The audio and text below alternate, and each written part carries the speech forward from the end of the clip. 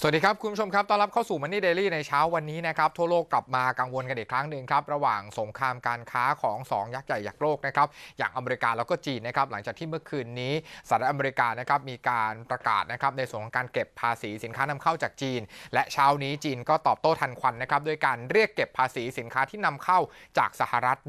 128 รายการนะครับ การตอบโต้กันของ 2 ยักษ์ใหญ่ของโลกแบบนี้นะครับจะส่งผลอย่างไรกับตลาดหุ้นทั่วโลกกันบ้างนะครับ เช้านี้ต้องกลับมาติดตามแล้วครับเพราะว่ากดดันให้บรรยากาศการลงทุนนั้น ติดลบกันไปทั้งภูมิภาคจริงๆทั้งหมดทั้งโลกเลยนะครับล่าสุดเซ็นอินเด็กเองก็ติดลบไปถึง 11.76 จุดครับวินาทีปัจจุบัน 1,786 จุดนักวิเคราะห์จะแนะนำยังไงในเช้านี้ติดตามในช่วงของเทรดไทม์ครับ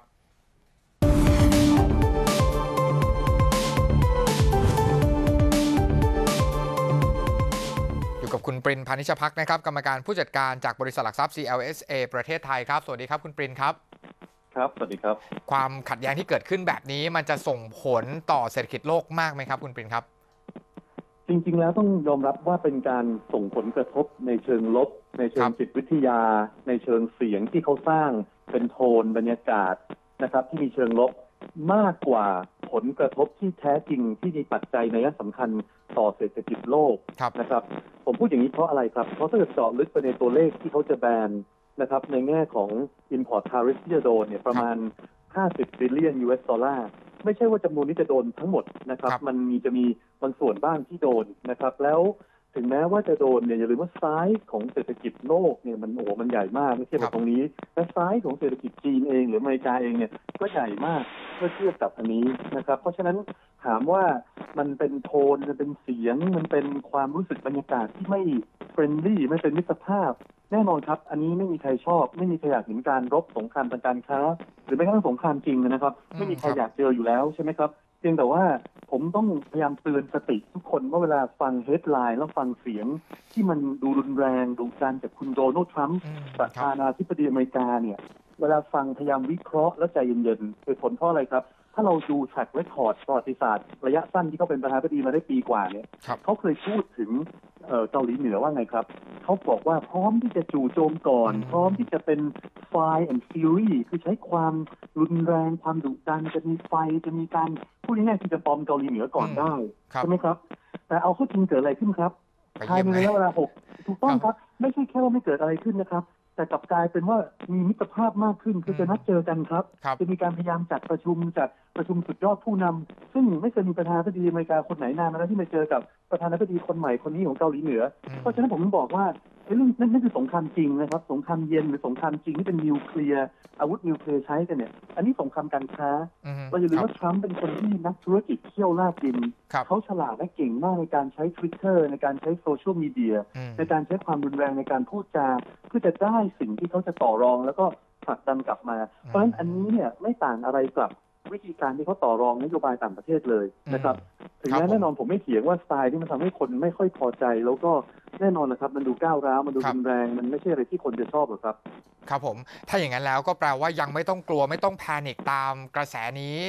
ที่ตอนนี้อาจบางคนอาจจะพูดถึงขนาดว่าเอ๊ะมันจะกลายเป็นชนวนของวิกฤตรอบใหม่หรือเปล่าที่ทำให้ตลาดนี้ปรับฐานลงมาแรงๆ ไม่ขนาดนั้นใช่ไหมครับคุณปรินครับถ้าถ้าไปกระทบกับตลาดหุ้นเนี่ยผมครับว่ายิ่งยิ่งควรจะน้อยกว่าแล้วผมแปลว่าเป็นโอกาสที่จะซื้อตลาดหุ้นในตลาดที่เกิดใหม่ ก็คือครับ global emerging market นะคครัรับบผมรวมถึงตลาดฮ่องกง จีนถ้าลงแรงหรือว่าตลาดในอาเซียนด้วยถ้าลงแรงเพราะมันไม่กระทบตลาดอาเซียนหรือบ้านเราเลยจริงไทยเราเนี่ยส่งออกเหล็กกับอลูมิเนียมไปอเมริกาเนี่ยแน่นอนมันก็มีบ้างแต่ว่าแค่ประมาณสัก 200กว่าล้านเหรียญสหรัฐ ซึ่งถือว่าน้อยมากเมื่อเทียบกับส่งออกทั้งหมดของไทยนะครับและผมเชื่อรัฐบาลไทยจะมีการพูดคุยกับรัฐบาลอเมริกา ท่านนายกประยุทธ์ก็ไปเยี่ยมเยือนที่ทำเนียบขาวมาแล้ว มีความสัมพันธ์ดีกับอเมริกามากขึ้น กว่าตอนที่คุณโอบามาอยู่ด้วยเนี่ย ตรงนี้กับไทยคงไม่กระทบรุนแรงนักนะครับ แต่กับภูมิภาคผมว่าเราเห็นตัวเลขเมื่อเทียบกับเกาหลีซ้ายของเกาหลีไต้หวันของเหล็กอลูมิเนียมแล้วก็ไม่ได้ไม่ได้น่ากังวลมากที่ผมกลัวครับคือบรรยากาศ แล้วก็แล้วก็บรรยากาศในการฟื้นตัวของเศรษฐกิจรอบนี้เนี่ยอย่าลืมว่าตอนช่วงเดือนที่ผ่านมาคนมีความกังวลในการพูดจาของประธานเฟดครับว่า จะเงินเฟ้อจะมาแรงและเร็ว และเศรษฐกิจอเมริกาจะโตแรงและเร็วเกินครับคาดจนอาจต้องขึ้นดอกเบี้ยสี่ครั้งใช่ไหมครับครับที่ทำให้ตลาดทุนนี่มีความกลัวกังวล